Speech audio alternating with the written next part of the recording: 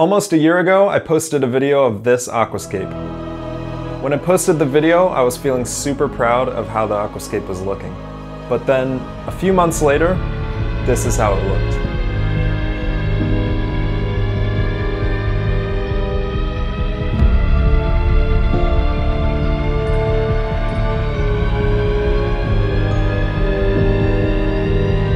Today, the aquascape looks like this. Welcome to the UNDR Life. In this video, I'm going to show you how I took my aquarium from this to this using the scientific method and why you should not use the scientific method to fix up your aquascape.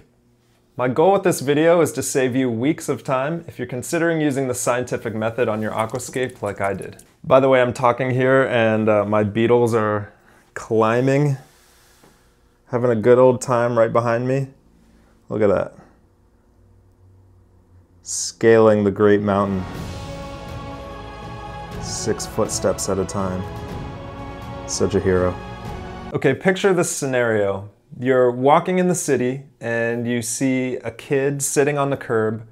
Uh, he, he has no parents around, he's dirty, no shoes, he has no shirt, he's crying. Uh, it's clear that many things are wrong. Uh, you're walking with your friend and you and your friend say, oh, we really need to help this kid. And your friend says, okay, oh, hold on. I'm gonna use the scientific method. Uh, let's figure out one variable at a time what this kid needs because you know he's crying he definitely needs something so let's start by just giving him water and you're like this is kind of strange but okay i guess giving him water can't hurt so you give the kid water, he drinks it and continues on crying. And so your friend's like, okay, no worries. Um, let's let's move on to another variable. Um, uh, do you want a, a, pat on the back, little kid? Will that will that help you? And you pat him on the back, and he just he just keeps on crying. When things started really going south in this aquarium, I had this cool idea that I would fix it one variable at a time and actually uh, make a video like this about what I did to solve the, the issues. This is actually my first full-on high-tech aquascape, so I wanted to learn also for myself um, what variables it took, what, what was going wrong so I could know for the future and share about it. And I thought, okay, well, if I change a whole bunch of things at once, I'm not gonna know what variable I changed that actually fixed it. A little fact about aquatic plants, or maybe all plants, is it takes them a long time to respond to each change. So I would make a change, make a little tweak, and have to wait two, three weeks to see if it had any effect. So let's say that this goes on for a while and your friend just keeps trying different variables one at a time and nothing is working. And you stop him, you're like, come on, enough, all right? Let's actually get this solved. Let's cut this BS and get this kid some help. What are you gonna do? Of course, you're gonna pick this kid up, just stop trying to be scientific about it, be an emotional, caring human, and give this kid everything he needs, everything that you can picture that he needs all at once. Sorry, one more look at the beetles. I know you I know you clicked on this video because you like fish, but Look at this. Reach. This is a different beetle. I tried probably a dozen different tricks and different variables, um, and I'm gonna run through them pretty quickly, uh, the different things that I tried. And please, if there's something you wanna know more about, um, write a comment and I'll try to make another video, a follow-up video, um, sharing more about that specific thing. Probably the first factor I tried to change was lighting. And I was nervous when I bought the light that goes onto this tank that it might not be bright enough. Uh, but usually when algae is present, the lights are too bright most of the time. So I started bringing the lights down. Another thing I tried to do is have the right algae eaters in there. So I had Amano shrimp, Neocaridina shrimp, and snails. And um, they seemed to help some, you know, you see them going around eating algae, but uh, if it's any clue, I don't have any shrimp in the aquarium right now. I just have some bladder snails and, uh, and I do have some hillstream loaches, but algae eaters weren't a big factor for this. As things continued going downhill, I started testing my water more and through testing it, I realized that the fertilizer I was putting in was undetectable in the water. So that was a big clue. I thought, okay, uh, maybe it's all a fertilizer thing and I need to be putting more in there. So um, I doubled the dose on the bottle and then like tripled it. It was on the bottle, it said to do 1.5 milliliters twice a week and I upped it to uh, 1.5 milliliters per day and then just kept going up from there and just kept having trouble detecting any of the uh, nutrients in the water. So I upped it, upped it, upped it. And that was a path that I continued trying to work on with this, figuring out am I putting too much fertilizer in or not enough? Continuing with my water testing, I started testing KH and GH. My suspicion was that the Seiryu stone that I had in there was leaching uh, minerals into the water and causing too high of a water hardness. So when I tested the KH and GH, I found that they were off the chart. They were actually off the chart of the test kit. And so that was a signal that there was probably a big problem there.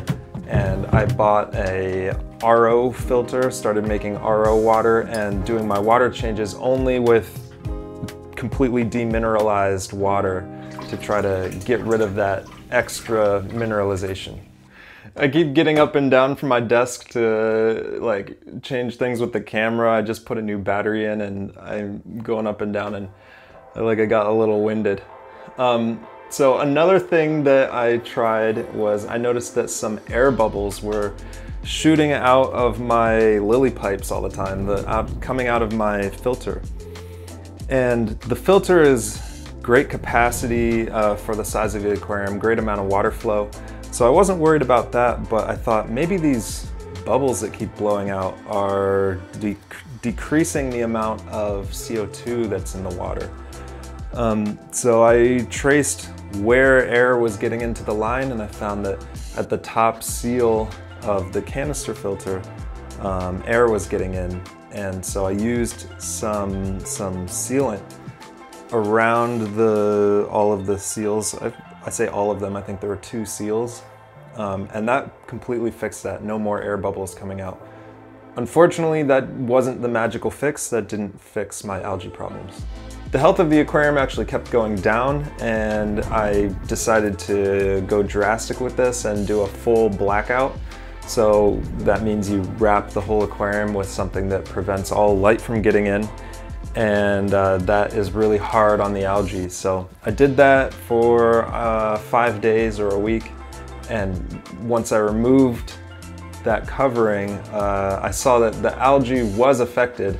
Uh, the algae looked like it wasn't thriving so much, but as soon as I gave the tank light again, the algae just came bouncing right back. I think the plants were just so unhealthy that they didn't have it in them to compete with the algae even after the blackout. Suspecting that the plants were just too far gone and too weak to compete with the algae, I decided to actually tear out almost everything. I tore out the entire Monte Carlo carpet and I tore out all of the stem plants because those were especially bad and decided to replant, keeping all of the same, uh, all of the same hardscape. I also suspected that part of the reason for the initial health of the aquarium, followed by it slowly declining, was that the aqua soil might have been slowly depleting. So I put in all new aqua soil and um, a lot of root tabs to make sure that the nutrients in the soil were all set for the new plants. Initially after replanting, I kept the nutrients in the water column pretty low.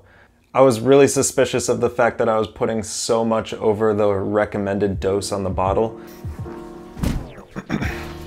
it's almost nine o'clock and the lights are going down in the aquarium. Say goodnight to these guys that I'm talking about. Good night. Their light went off too, so I'm gonna use my phone here to augment. Focus. Shameless promotion for uh, for these modules which I 3D print and sell. I promise this guy was not sponsored by UNDR, all opinions are his own. Look at him, enjoying his life in there. If only my camera would focus. Okay, back to talking about the aquascape. Completely replanting the plants definitely helped and I saw that the new plants were a lot healthier, but probably only a month in I could already see signs that the health of those plants were declining and things were going in the same direction as they went before I replaced the plants. I decided to move the CO2 drop checker to the back left corner where it gets the least amount of CO2 and base my CO2 measurements on that. I also started turning on my CO2 a full, I think three hours before the lights come on so that once the lights come on, the drop checker is already a good, pretty bright green, meaning that the aquarium has a lot of CO2 all day, right from the start. I also got a pump uh, to put in the back where there is the least amount of flow to try to get the CO2 the whole way around the aquarium circulating and, um, and also blow up debris that would settle in dead spots. I started doing more water changes and being more aggressive with the water changes, making sure to get any bits of mulm or debris that was fallen down inside of the aquasoil.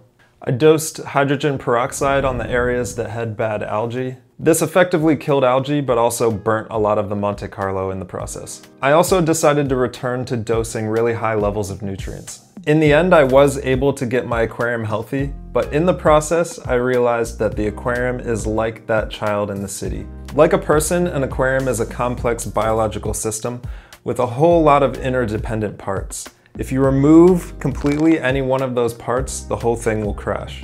And it's not until you build up all of those parts at the same time that you can have any sort of health in the aquarium. What I ended up doing was spending months changing one variable at a time for my aquarium child. And in the meantime, things just kept declining, declining, declining. And I wasted so much time. I realize now that if I did everything that I thought could be wrong uh, at the same time, and fixed multiple variables at once, I could have been back on track a lot more quickly. This doesn't mean that you make drastic changes to the aquarium, so that advice is out there and I think that is good. And it still fits with the analogy of the child. It's not gonna help this child if you say, oh, well, there's a lot wrong with him, so let's take him out of the city and we'll bring him to the desert. Now he's just gonna be confused and is also still gonna be lacking all this stuff that he needs. So you don't want to just suddenly say, okay, well, I'm going to take my pH from 5 to 8 or something like that. You're just going to shock the whole system. What I'm suggesting is that you change multiple variables slowly, but all at the same time. This also doesn't mean that the scientific method is bad when it comes to aquariums. It's just not a good method for fixing your aquarium and getting it back on track quickly. So um, I've seen some people do aquarium tests, aquarium experiments like MJ Aquascapes. He will do uh, one aquarium with say no CO2, another with CO2, side by side that functions only as an experiment. He doesn't care if one or both of them completely go downhill. It's just to see if that variable will change it. This is a completely different scenario and it's a, it's a great experiment. Another thing that this makes me think about is uh, how many times I go on a forum and somebody says something like, you just need higher light. You just need more light, a better light, and uh, everything will work out. Or you just need more filtration. And people will give a simple one word answer. Maybe not one word answer, but one variable answer.